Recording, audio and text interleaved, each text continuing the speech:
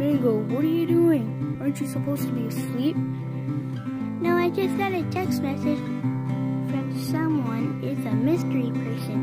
So I'm gonna instead go by the door. That's what I remember. So I'm gonna be heading over there.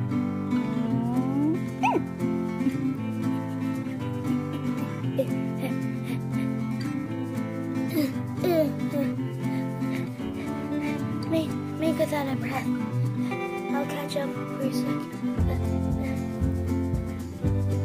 Alright, Foxy. You have one shot. You blow it, that's it. So let the old bear go over here so where I don't get in your business. Hmm. Hmm. Hmm. Oh, hey Foxy.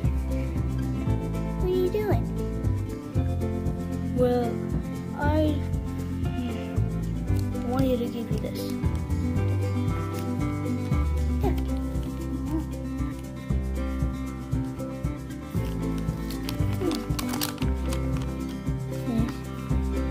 Will you be my Valentine?